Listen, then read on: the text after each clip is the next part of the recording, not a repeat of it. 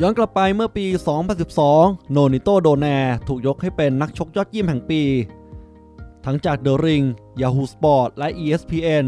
โดยผลงานชนะ 30 ไฟต์รวดในรอบ 11 ปี ซึ่งนั่นคือจุดสูงสุดของยอดกำปั้นชาวฟิลิปปินส์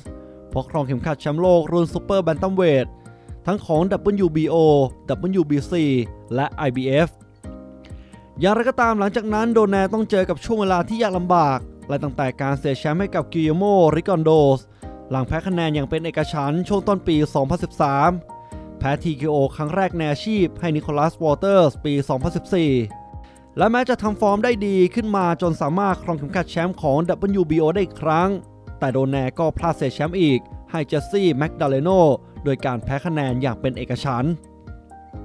หลังแพ้โดแนร์ก็ถูก Top Rank โปรโมเตอร์ชื่อดังเจ้าเดียวกับที่ดูแลแมนนี่ปาเกียว ยกเลิกสัญญาในปี 2016 หลังร่วมงานกันมานานถึง 8 ปี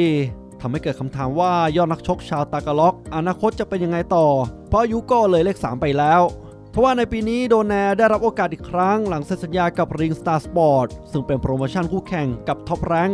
ก่อนจะให้โอกาสเจ้าตัวกลับมาชก ซึ่งเป้าหมายในคราวนี้คือการกลับมาเป็นยอดมวยในรุ่นเฟเธอร์เวท The Filipino Flash ยังเปิดเผยได้ว่า นักมวยแถวหน้าของรุ่นเฟเธอร์เวททั้งเลโอซานตาครูซคาร์ลแฟรมป์ตัน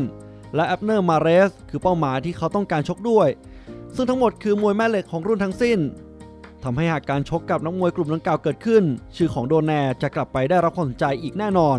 จึงทำให้น่าสนใจไม่น้อยว่าอีกหนึ่งซูเปอร์สตาร์จากวงการมวยฟิลิปปินส์รายนี้